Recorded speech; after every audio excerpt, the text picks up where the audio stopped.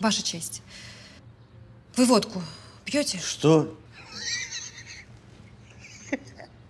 Какое это имеет? У меня сохранилась одна бутылка.